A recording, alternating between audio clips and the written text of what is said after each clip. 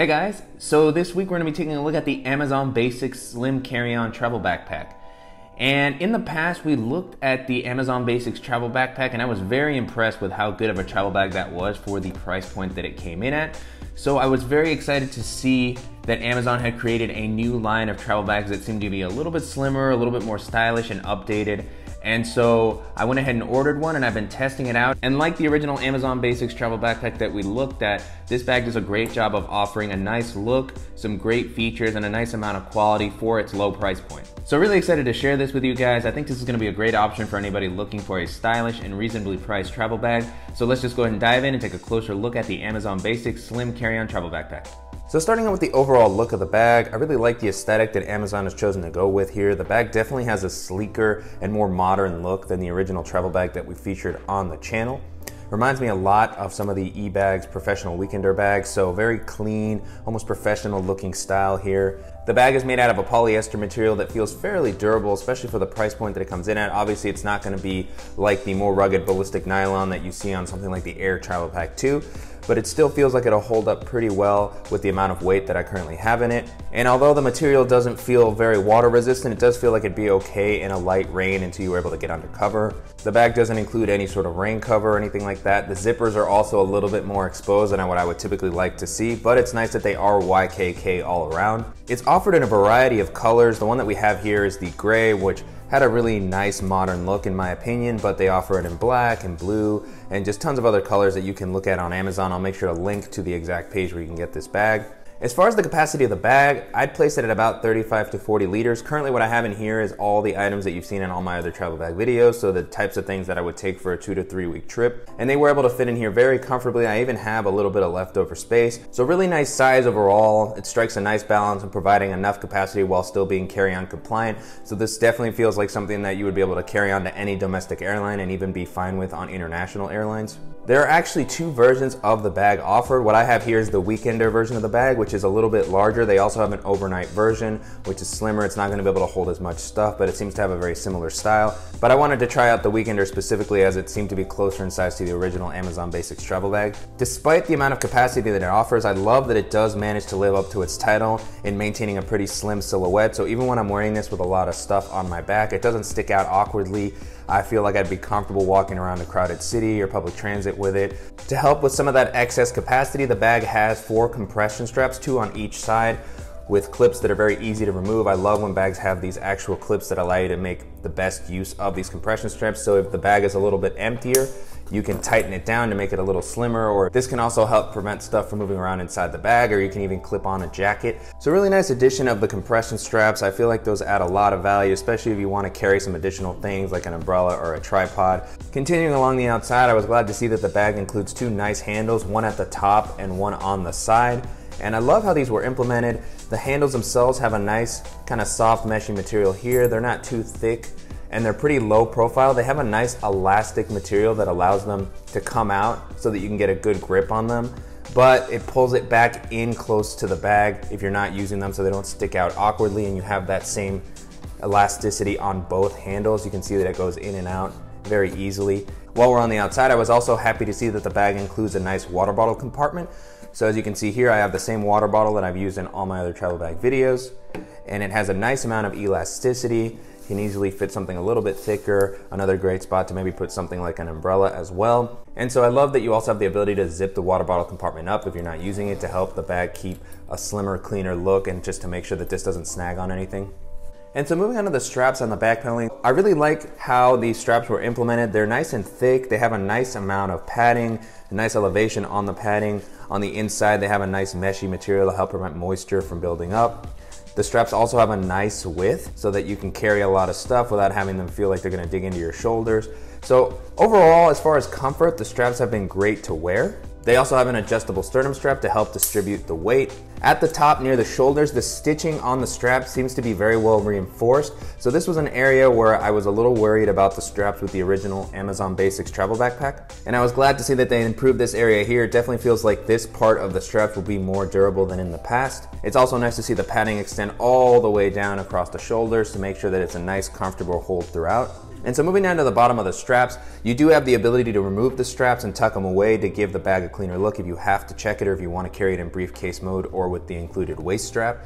And in order to remove the straps, they have this plastic clip here, very easy to slide that out and then you could tuck the straps away in the zippered compartment at the top. The majority of this hook reminds me a lot of similar plastic hooks that we've seen on bags like the Hynes Eagle travel bag or even the original Amazon Basics travel backpack. And that has held up pretty well, but this in particular just feels pretty flimsy to me. So I imagine if you take this on multiple trips or you're constantly carrying it with a lot of weight, or even if you regularly attach and detach the straps, this definitely doesn't feel like it's gonna be very durable. So I definitely wish that Amazon would have chosen to go with something sturdier here, maybe a thicker piece of plastic or even some metal, just to provide a little bit of extra security as this is what actually keeps the straps in place. And over the longer term, I would be very concerned about this piece of plastic bending and breaking pretty easily. It is nice how easy it is to tuck the straps away and the bag works very well in briefcase mode or with the shoulder strap as we'll look at in a little bit. But before moving on, I did want to talk about the back paneling, which has been fantastic to wear. I love how soft and comfortable the padding on this area is. Same nice meshy material to help prevent moisture from building up. The elevation also creates these nice air channels here to allow air to flow through while you're wearing this with a lot of weight throughout the day. So really great implementation on the back paneling. The bag overall has been very, very comfortable to wear. I have some concerns about the durability of the strap, specifically with the plastic connectors we just looked at, but the overall comfort of the bag has been really, really great. On the back paneling, the bag has a nice sleeve that you can use to pass through a suitcase handle. So if you are traveling with a larger carry-on bag, you'll be able to rest this on the suitcase handle so that you don't have to carry that weight around with you while you're moving around the airport. And then another nice feature here on the back paneling is this hidden pocket near the bottom. It's nice and big. This is gonna be a great spot to store any sensitive documents or items. So currently what I have here is just my field notes, but this pocket has a lot of space. You can definitely put passport in here, some travel documents, cash, maybe even a thin wallet or your phone. So a nice amount of space and versatility offered by this compartment here. This also gives you an idea of just how thick the padding is down here at the bottom. So if you're looking for something that's very comfortable in the lumbar area, this bag is gonna be a great option. And so as I mentioned earlier, when you tuck the straps away, you can carry this like a briefcase with the handles that we showed, or the bag also has these two plastic connectors, very similar to the ones used on the straps that you can pair with the included shoulder strap that the bag has. And so this is a pretty nice standard shoulder strap here, nice amount of padding, it's pretty thick. It has a gel-like material here, so it's pretty comfortable to wear as a shoulder bag. With bags of this size, I typically just prefer to use the backpack straps, but if you like using shoulder bags, it's nice that the strap is included and that you have the different options on how to carry it. The shoulder strap is very easy to attach and detach, same plastic clips that we saw on the straps. So similar durability concerns here to the clips that we saw on the straps, but they are very easy to get on and off if you want to convert from shoulder bag to backpack and vice versa. And so jumping into the different pockets and organizational options, I was really impressed with just the amount of pockets that the bag has to help keep everything separate and in its own particular place. On the front, the back just has a very simple quick access compartment here. I like the bright inner lining to make it very easy to see what's on the inside. This compartment offers a nice amount of space. It's a little bit slimmer than some of the other ones we'll look at, but still plenty of space to hold some of the flatter items that I typically carry with me. In here, I currently just have my Kindle.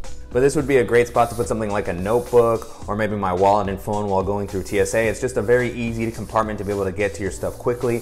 The next compartment is what you might call the administrative area where you could put some of your tech accessories and smaller accessories. There's a lot of internal organization in this compartment. Before jumping into the compartment, I do want to call out that this compartment has lockable zippers. And so opening that up, it has a nice wide opening and Lots of organizational options on both sides of the compartment. I like that it opens up wide and flat so that if you're packing this out, it's very easy to see everything that's in the compartment. And so starting off with the front side here at the top, there's just a few slots for something like a pen or a stylus, which is what I currently have here. Next up, there's just a larger, simple zippered compartment. And so this area here, the compartments can get a little bit difficult to use since they're right on top of each other. They all kind of share volume. They each allow you to store a fair amount of stuff, but it's definitely gonna be harder to store thicker items in here. So currently what I have in this back one that goes about to the bottom of the compartment to where my hand is here. I just have my full-size Moleskine notebook and that fits in there easily horizontally. And then under that, there is another zippered simple compartment, no internal organization in this one either. And in this compartment, I just have my solar portable battery, which I like to hang on the outside of my bag while I'm walking around so that it charges up. So just another simple compartment, very similar to the one we were looking at here. It's a little strange that they have so many slim compartments kind of stacked on top of each other. I think it might have been just as useful to eliminate one of these and just leave a little bit more volume. Next up, you just have a simple elastic compartment here where I currently just have my sunglasses with their case. And so this comes out a nice amount. I like the elasticity provided here so that you can hold something a little bit bulkier. Next up is another simple zipper compartment. This one has mesh, so it's nice to be able to see easily what's on the inside. And I also like that this has a little bit of extra volume. You can see how much it comes out to allow you to store something a little bit thicker. So currently what I have in here is my portable hard drive. And then I also have my GoPro Hero 3 Plus. So you can see just how much this compartment comes out. I can almost fit my whole hand in here, so a nice amount of space. And so even with all the little slots that are available, if you guys have watched a lot of my videos, you know that I typically prefer to travel with something like this GoRuck Wire Dopp because of how flat it is and how easy it is to just kind of keep everything contained as opposed to using all the little pockets. So I was happy to see that I could still stick to my normal packing style and just keep everything in the Wire Dopp if I preferred to travel that way. Moving on to the flap of the compartment, you see some additional organizational pockets here. So at the top, there's just a nice slim mesh compartment, very similar to the one we just looked at. It comes out a nice amount, so some good volume here. And currently what I have in here is just a small lightning cable to charge my phone. And then I have my Gerber shard. And then I just have a USB-C hub for my MacBook. Then on the other side of that compartment, there is a few slots for something like business cards maybe. I didn't like these slots because when you open the bag flat, whatever you have in here tended to fall out. And then the last compartment here is just another larger mesh zippered area that might be good for holding something like a laptop charger or larger tech accessories. This one doesn't have the same volume that the other zippered compartment have, so this one you can see it sticks out a little bit. This one doesn't have that same capacity but it still offers a nice amount of space. So I currently have my Apple Magic Mouse in here. And then I also just have a spare USB-C to USB-C cable. The rest of the charger is in the wired Dopp, which is what I would typically use, but I would be able to fit in here if I wanted to. And the last thing that I almost forgot to mention here is that the compartment actually doesn't stop here at the zippered area. It goes down a little bit more so you have some extra space. You can take advantage of the full volume here. And so at the bottom, there's some additional slip compartments here. If you have another charging block that you need to hold, or if you wanna put your laptop charger in here, this might be another good spot. So lots of different little slip pockets sprinkled all throughout this compartment to help keep everything organized in its place. The next compartment here is a top axis tablet compartment, and this one is also lockable. It doesn't have the same mechanism to lock as the previous compartment since it only has one zipper. In order to lock this, you can hook the zipper to this little included loop at the end here. And so this is an interesting system. I've seen this on a few different bags. It doesn't feel quite as secure as being able to attach it to another zipper, which is also made of metal. This is attached to what feels like a metal loop, but this fabric here seems like it could be susceptible to tearing or to a knife or something. So would have been nice to just have the two zippers to attach them to each other, but still nice to offer at least that little bit of deterrent and the ability to lock that. You have a similar mechanism for the main area as well. And so opening this compartment up, you can see you can easily access the tablet sleeve. There's plenty of space here for different size tablets. Currently what I have in here is my iPad mini 2 and that fits in there very easily. And on the inside, there's a nice elevated compartment. There's a little bit of a soft kind of gel-like sleeve here, which feels really nice. It seems to offer good protection from scratching. So really nice to be able to easily reach down and grab your tablet while you're on the go. Nice amount of protection and space offered in this compartment. We'll definitely take a closer look at this again once we get into the main area. Next up, I wanna talk about the laptop compartment, which is also lockable. And opening this up, it has a three quarter opening, so it doesn't open completely flat, but you have a nice amount of space to get into your device easily. You can definitely fit larger devices in here. Currently what I have is my 13 inch MacBook Pro but I believe you would easily be able to fit a 15 and maybe even a 17 inch laptop in there. And so the compartment offers a nice amount of padding here on the back. There's no sort of felt lining on the back, which would have been nice to help prevent against scratching. It has the same gel-like type sleeve that we saw in the tablet compartment, and so it has a nice amount of elasticity. It's not very thick. It would have been nice to see a little bit more padding on the sleeve, especially for the laptop compartment. But it is pretty soft, which would definitely help prevent against scratching. One thing that was weird about this area to me is that there is no bottom to this sleeve, so your device actually goes all the way through. It's held in place by the sleeve, but it's not elevated off the bottom of the ground, which would have been nice if it was more similar to the tablet compartment, which was actually elevated. So A little bit of a strange design decision there, and definitely think that could have been improved. And so moving on to the main compartment, this area is also lockable. I like that it has the two zipper locking mechanism as opposed to the one with the loop that we discussed earlier. So very easy to open this up. So as you can see, nice amount of space here. I have all the same items that I've used in all my other travel bag videos. So first up, I have my Penguin Chiller shoes, and then I have my Dopp kit of choice, my Aer Travel Kit. Next up, I have my smaller packing cube with my underwear, my socks and t-shirts, things like that. Then I also have a pair of Toms that I always travel with. And lastly, I have my larger double-sided packing cube with my dress shirts and jeans and larger clothing items. And so as you can see here, very simple compartment, no internal organization, no straps on the inside. So just a big bucket of space so that you can organize everything in the way that you prefer. On the flap, you also have a fair amount of volume, no sort of mesh compartments like we've seen with a lot of other travel bags, but you do have the ability to open this area up. And so on the inside, here we get a clearer view of the tablet compartment. So this is where we looked at earlier that we were accessing from the top. You can actually see the tablet sleeve here. And as I mentioned, it is elevated off the bottom of the ground. This is how I wish the laptop compartment had been implemented. So nice amount of protection here. You can see you can fit a full-size tablet in there for sure. In addition to being in the tablet compartment, you also have a lot of extra volume here. If you want to separate out some of your clothing items, you could put a jacket in here or maybe even another packing cube. So I like the ability to kind of spread everything out, and the versatility offered by the volume that this compartment has. So just a really great job with this main compartment and with the overall organization on the bag. I feel like this is a worthy addition to the Amazon Basics collection and a nice alternative that's gonna be a little bit sleeker and slimmer and have some extra organizational options compared to the other Amazon Basics travel bag that we looked at in the past. And so to wrap up, I've been really impressed with the Amazon Basics Slim Carry-On Travel Backpack as I've been using it. It offers a nice amount of organization, space, style, and it comes in at a great price. And so you can purchase this on Amazon for about $75. And the version that we looked at in the video, as I mentioned a few times, is the weekender version of the bag. There's also an overnight version, which is a little bit smaller and it's a few bucks cheaper. And to me, this is a great value for the type of bag that you're getting. It's not something that's gonna necessarily last a lifetime like a GoRuck bag or something like that. In the past, we featured a few different budget travel bags that might be worth comparing this to. The first one, of course, is the original Amazon Basics travel backpack that we looked at a while back. That has been a really popular bag that I've gotten a lot of great feedback on.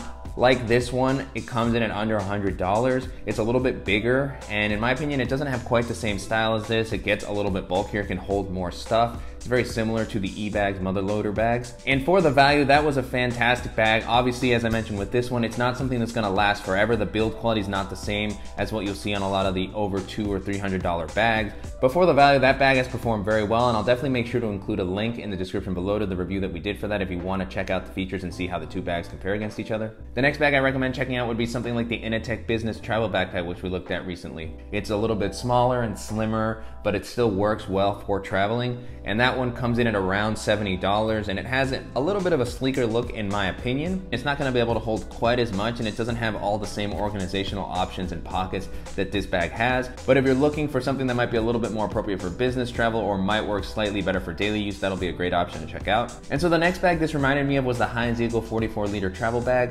That was another great travel backpack that comes in at under $100. It was very lightweight, even lighter than this one. It had a very nice nylon material, lots of pockets and great organization. It had a little bit more space than this, so if you're traveling for a longer period of time or you don't want to pack quite as minimally, that might be a good option to check out. And then the last option I'll mention here, which is in a little bit higher price range, is the Tortuga Setout Divide, which comes in at about $180.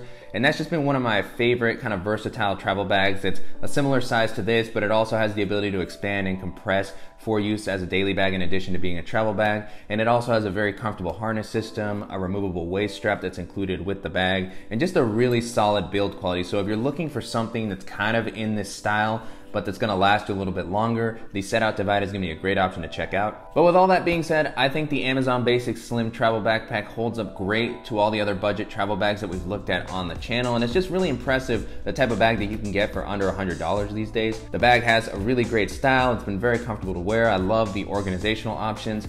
And if you're not looking to spend that much on a travel bag and you don't need something that's gonna last for many years to come, this is gonna be a great option to check out. And I'm definitely curious to hear the experience that you guys have had with budget travel bags. And if you have any favorite budget options that you recommend checking out, please let me know in the comments. And if you guys found this video useful, please go ahead and give us a like below. And if you haven't already, please go ahead and subscribe to new miss any upcoming videos. And thank you guys so much.